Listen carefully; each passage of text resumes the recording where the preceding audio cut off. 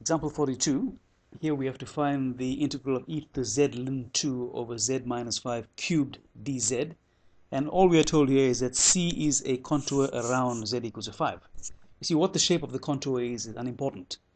So we simply apply the Cauchy integral theorem in its modified form now.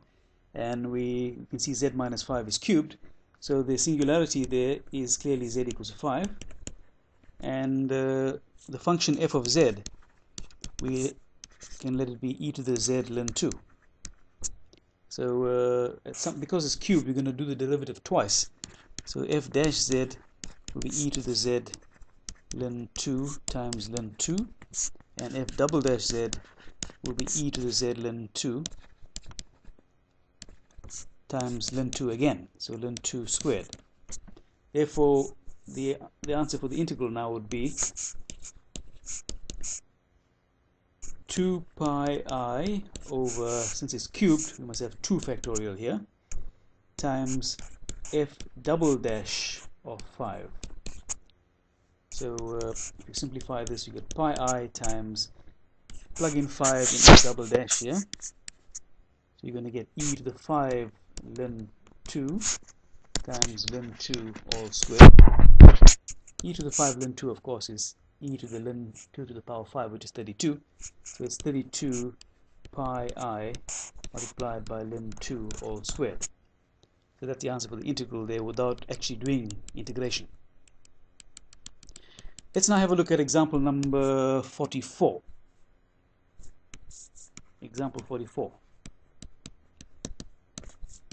integral of z cubed over z minus 1 into z minus 2 cubed and there are two scenarios. Firstly C is a circle given by z minus 2 equals to half.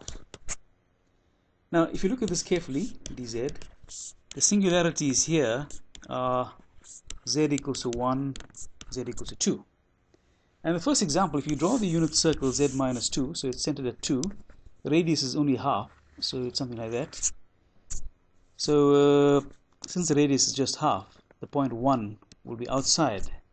So only z equal to 2 is inside the contour. Therefore, the integral will be given by 2 pi i. Now, since z minus 2 has got a cube there, it will be 2 factorial. f dash of where the function f is now everything beside the z minus 2 squared. So f will be equal to z cubed over z minus 1. So now you should do f dash and then uh, you need to get, so you need f double dash here. So you need to get f double dash as well. Plug in the point 2 and you should get the result. Now in the second scenario they say that uh, the contour C is the circle equals to 2 that's the second scenario. This time, if you draw a picture, again the center is at 2. But this time the radius is big enough to go around 1. So you have two points in the in the contour. Therefore, the contour integral will be equal to 2 pi i. Now for the first point z equals to 1, the multiplicity there of course is 1. So we don't have to divide by anything. You can say nought factorial if you like, it's still 1. But it's simply f of let's call it f1 of 1